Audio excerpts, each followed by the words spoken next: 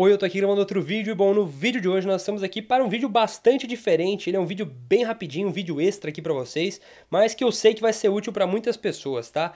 Hoje nós estamos aqui para fazer um tutorial de Perfect Size. Antes que você me pergunte, eu já te explico o que diabos é um Perfect Size. Bom, você sabe que nós temos vários modelos de shields, né, para cobrir nossas cartinhas, que são esses plastiquinhos aqui que nós usamos para proteger as nossas cartas, certo? No geral, isso existe primeiro para não danificar cartas que são caras e segundo para deixar o seu deck mais bonito, né? Porque uh, o deck fica mais fácil de embaralhar quando você está usando Perfect Size, fica mais fácil de comprar as cartas sem que elas grudem e etc, etc, etc.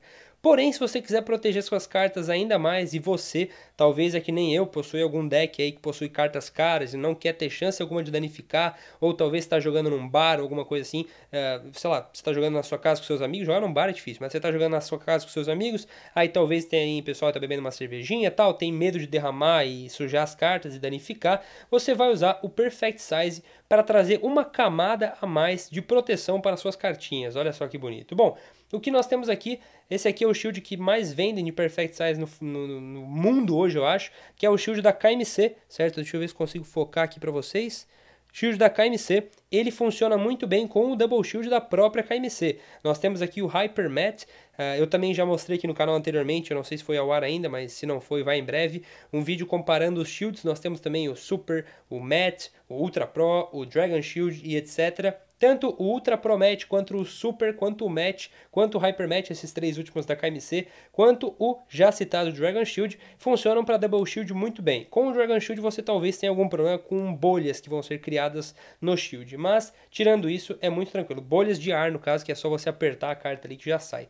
Bom, vamos lá então. A primeira coisa que você vai ter que fazer, deixa eu tirar aqui para vocês. Você vai pegar o Perfect Size, que é um shield bem fininho, um shield transparente, bem fininho mesmo, com o tamanho exato da carta, e você vai colocar o shield na sua carta, certo? Depois, o que você vai fazer é simplesmente pegar um shield normal, no caso aqui eu estou usando um Hypermatch preto da KMC, e você vai colocar na sua carta. Pronto, é só isso, não tem segredo, o deck vai ficar um pouquinho mais grosso que isso, Uh, o Double Shield vai servir, como eu citei anteriormente, para proteger suas cartas. Ele vai deixar o deck um pouco mais espesso, então se você tiver um deck de 75 cartas, por exemplo, com o Double Shield da KMC ou de qualquer outra marca, ele muito provavelmente não vai caber nessas deck boxes aqui. Essas deck boxes tradicionais da Ultra Pro, uh, elas não vão servir para você fazer o seu Double Shield. Você vai precisar de uma deck box um pouquinho maior que tenha espaço para você colocar o seu Double Shield. A que eu mais recomendo essa aqui. A Ultra Pro Tower Box é simplesmente absurda, ela é linda e ela funciona muito bem para Double Shield.